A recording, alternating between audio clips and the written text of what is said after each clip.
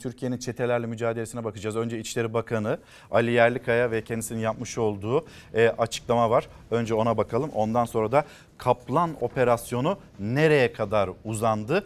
Onu da öğreneceksiniz. 38 çete çökertildi dedi. İçişleri Bakanı Ali Yerlikaya son 4 ayda 38 mafya tipi organize suç örgütünü çökerttik.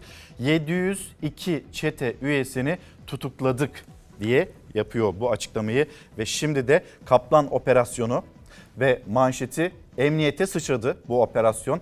Ayhan Bora Kaplan'ın Ankara'daki illegal faaliyetlerine göz yumdukları iddiası ile haklarında müfettiş incelemesi başlatılan bazı polislere görevlerinden el çektirildi. Peki hani ne oluyor?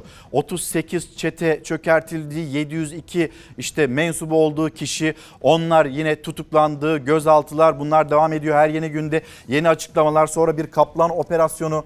Kim bunlar? Nasıl hani 4 ay öncesinde, 5 ay önce, 6-7 ay, 1 yıl önce nasıl bu kadar rahatlardı da şimdi onlara bu operasyonlar düzenleniyor? Ankara'nın sorduğu sorulardan birisi de bu kuşkusuz.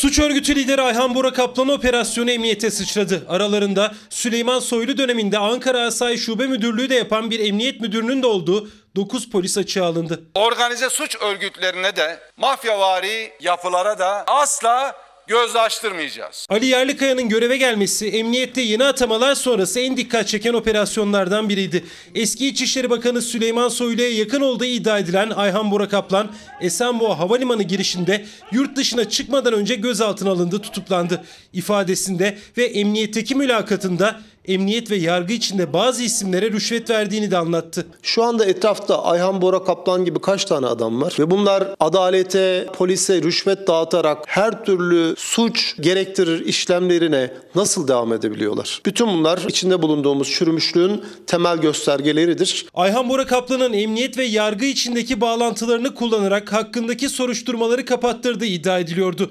Soruşturmanın emniyet ve yargı içinde bazı isimlere de sıçrayabileceği.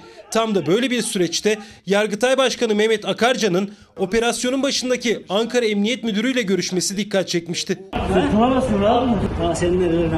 Kaplan operasyonu emniyete sıçradı. T24'ten Asuman Aranca'nın haberine göre Ankara Emniyet Müdürlüğü'nde başlatılan idari soruşturma kapsamında eski İçişleri Bakanı Süleyman Soylu döneminde çok kritik görevlerde bulunan bazı müdürlerin de aralarında olduğu 9 kişi açığa alındı.